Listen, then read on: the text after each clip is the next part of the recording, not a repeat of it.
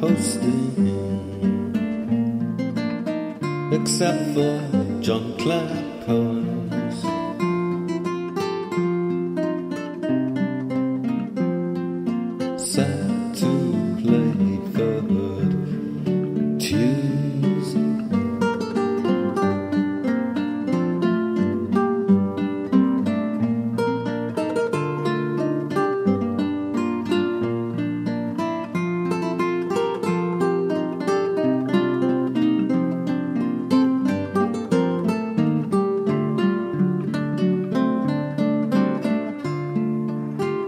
I miss the islands, both the wide and Dippenheim.